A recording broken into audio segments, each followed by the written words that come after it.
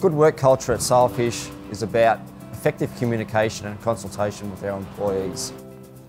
My name is Darren Foster and I'm a Director of Sailfish Catamarans. My name is Ian Drew and I'm Assistant Manager at Sailfish Catamarans. Here at Sailfish Catamarans we manufacture aluminium twin hull boats. As leaders at Sailfish we encourage effective communication with our uh, employees. We engage with them on a daily basis in our toolbox talks, we encourage our staff to report any near misses, uh, incidents, or any items to the factory they believe it needs to be changed.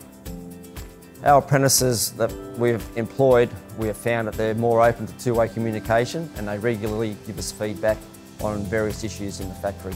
In the last 25 years, we have employed over 18 apprentices.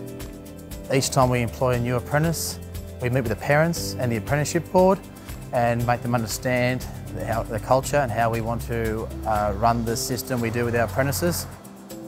Our staff induction is carried out by our factory foreman. He's our uh, WH&S selected representative. He takes each of the new apprentices uh, through a staff induction. Once that's done, we'll show him around the factory as well to give him our views and our ideas on what we expect that he should carry out as far as his safety culture goes. As our apprentices come into the factory, we butt in with a tradesman. Each apprentice stays that tradesman for 12 months and then moves on. When he goes to his second year, he then goes to a different tradesman. This shows the apprentice different skill sets as he's working through his apprenticeship. Part of our staff incentive policy is that each year we take one of our employees to the Sydney Boat Show. It gives them a view of how we sell the boats and the other side of the business. The changes we made to our culture was uh, moving from a five day a week 40 hour a week to a nine day fortnight. This enables the employees to be able to spend time at home with family.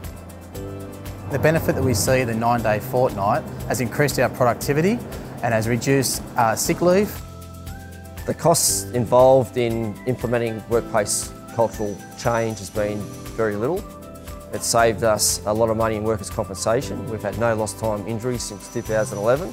Our average injury rate is 2.3 per annum, and most of those have been small uh, cuts or splinters that needed only basic first aid treatment.